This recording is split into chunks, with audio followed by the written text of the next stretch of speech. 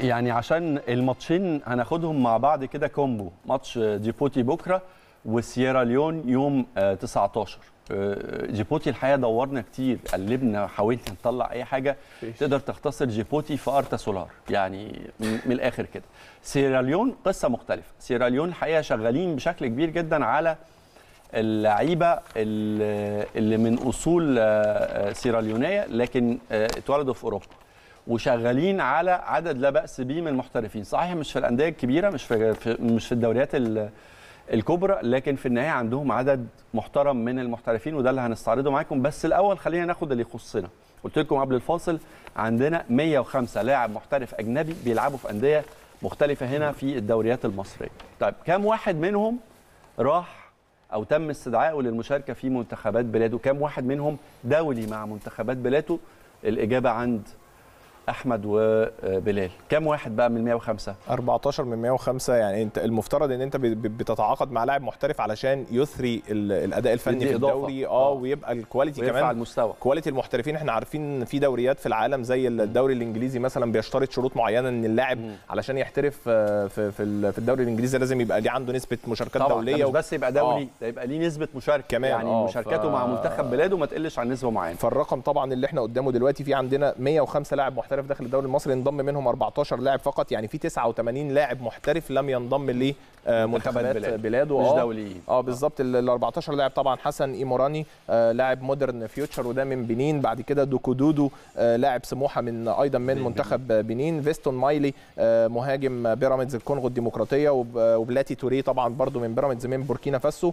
آه مابولولو من الاتحاد السكندري. لعبنا و- بلاتي توري ده. آه. هيواجهنا في ماتش في مرحلة من المراحل لأن. بوركينا فاسو معانا في في في المجموعة. آه بالظبط. مابولولو طبعا هو أفضل وأميز آه، اللاعبين المحترفين أو ال- المهاجمين المحترفين حاليا في الدوري المصري. هداف الدوري.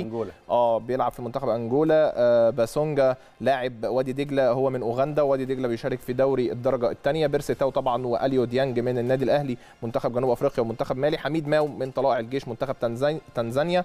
وارنولد من آه لاعب الجونة منتخب آه مدغشقر. ياو النور أو ياو أنور من الإسماعيلي منتخب توجو. جيفيرسون إنكادا من فاركو آه منتخب غينيا بيساو. وسيف تيري من فاركو أيضا في منتخب السودان.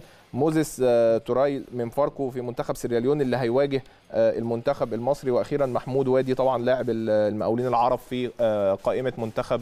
فلسطين.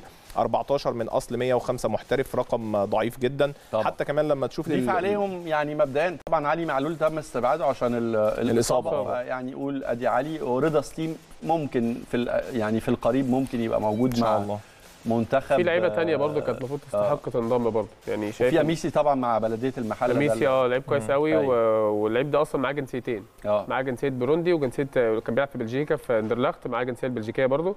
فده لعيب كويس جدا. مم. يعني كان بيروح دايما في المنتخب مع بروندي لكن المعسكر ده يعني ما انضمش ليهم في التصفيات. وفابيو أكيم طبعا النيجيري بتاع البلديه برضه لعيب كويس جدا وعنده سرعات لعيب مميز جدا. وبيتر متوماسي لاعب زد رقم. بيلعب رقم ستة. ده كونغولي. لعيب كويس جدا.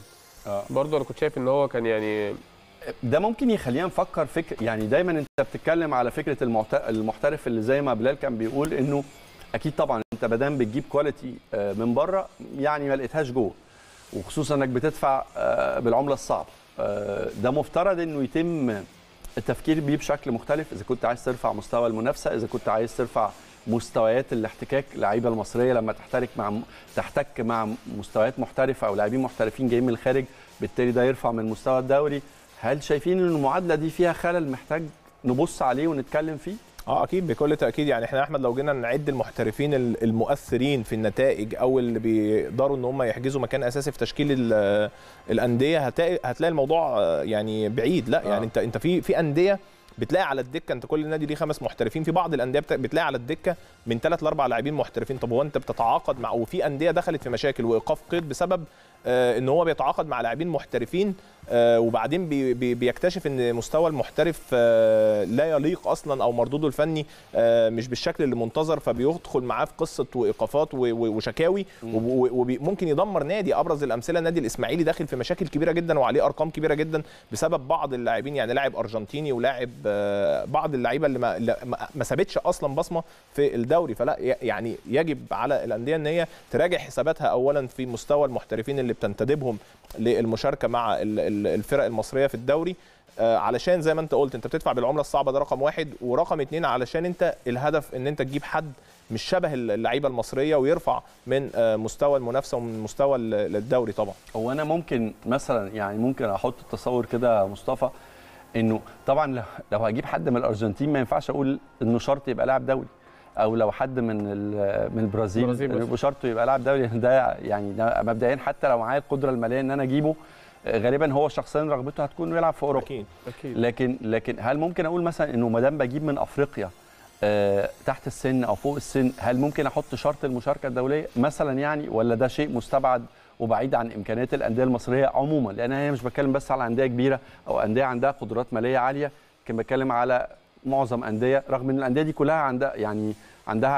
عدد كا- كامل 105 على 18 نادي يعني أنت بتتكلم تقريبا في في متوسط أربع لعيبة في كل نادي بالظبط. تقريبا يعني فهل ممكن القصة تبقى ماشية بالشكل ده من التقنين ولا ما تعتقدش إن هيكون ليها إضافة؟ صعب جدا هيبقى الموضوع مختلف يعني صعب لأن أنت بتتكلم في إن آه، شرط إن أنت تبقى لعيب دولي أو في نسبة مشاركة ده هيبقى حسب هتقارنه ما بينه وبين ال quality بتاعه افرض لعيب. quality مثلا زي ما أنت قلت مثلا البرازيل أو آه، لعيب مثلا زي إيليندي اللي بيلعب في في سان داونز أيوة.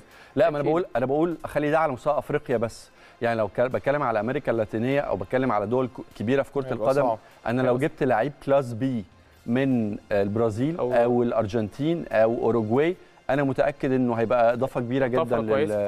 آه، للدوري المصري. لأنك مش هتقدر في النهاية تجيب class A ولو قدرت تجيب class A عايز- هو هيبقى عايز يروح أوروبا أو هيبقى عنده already عروض من أوروبا. لا طبعا شايف في أفريقيا ممكن يعني لو أنت بتتكلم في حتة لو أفريقيا وكمان بس يعني نسبة اللي عايز نسبة المشاركة ده. ما يبقى صعب تربطهم مع بعض يبقى مختلف لكن آه. بشوف إن هو آه، في أفريقيا لا أنت طبعا الأندية الأفريقية عندنا زي الأهلي والزمالك وبيراميدز انديه طبعا ليها اسم كبير وليها تاريخ وكمان آه، غنية فبالنسبة لهم إن هو ده حافز كبير جدا إن أي لاعب من اللعيبة حتى لو تحت السن شايفين مثلا زي أكيم زي ما اتكلمنا أكيم وأميس اللعيبة كلها كانت يعني أميس ده محترف في اندرلخت